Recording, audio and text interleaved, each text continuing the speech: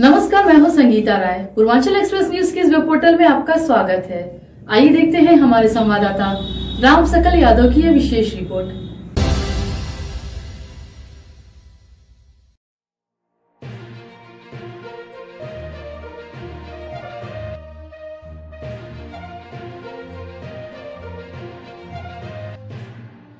आजमगढ़ पचहत्तरवें गणतंत्र दिवस के अवसर पर भव्य सांस्कृतिक कार्यक्रम का आयोजन किया गया।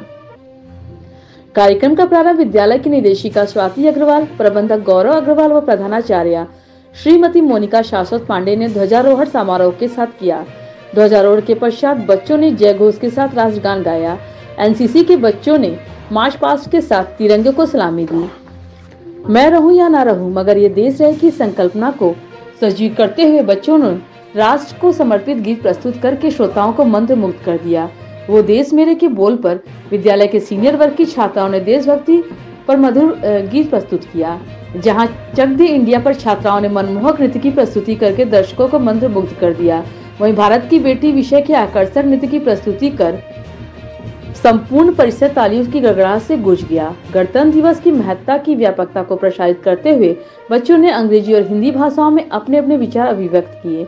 कार्यक्रम के इस अवसर पर आजमगढ़ महोत्सव के तत्वाधान में आयोजित फुटबॉल प्रतियोगिता में प्रतिभाग किए प्रतिभागियों को विद्यालय की निदेशिका स्वाति अग्रवाल, प्रबंधक गौरव अग्रवाल एवं प्रधानाचार्य मोनिका शाश्वत पांडे ने पुरस्कृत करते हुए पाठ्येतर विभिन्न गतिविधियों में प्रतिभाग करने के लिए प्रेरित किया।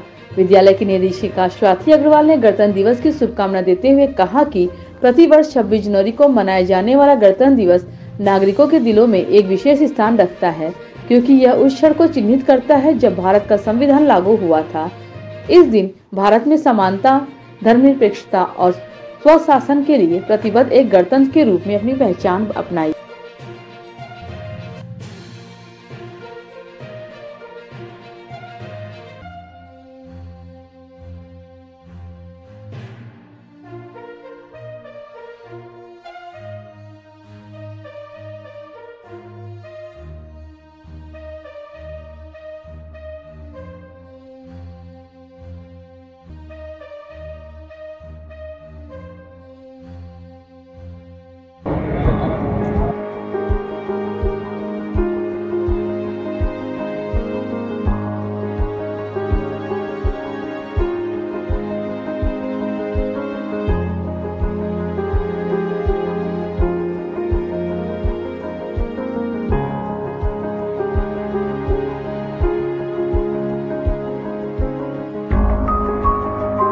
हमारी खबर पसंद आई हो तो हमारे चैनल को लाइक, सब्सक्राइब और शेयर ज़रूर करिए।